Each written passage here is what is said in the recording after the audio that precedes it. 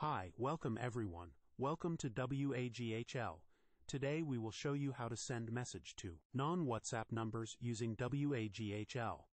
For that, we provide following options. To make use of SMS feature, you should have Twilio credentials and to configure these settings. Log in into your agency admin panel and if you don't have you can ping us. We would provide you. Now, go to the edit option below the action for SMS and WhatsApp setting. Go to message service provider.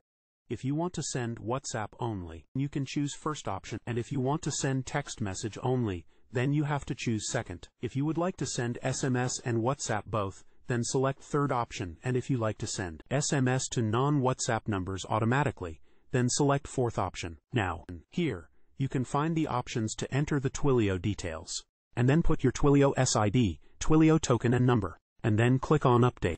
This is how you can send both SMS and WhatsApp or either SMS or WhatsApp messages to contacts. Thank you.